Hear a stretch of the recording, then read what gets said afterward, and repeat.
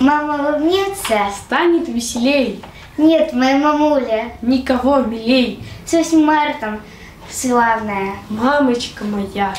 Мы тебе желаем счастья и добра.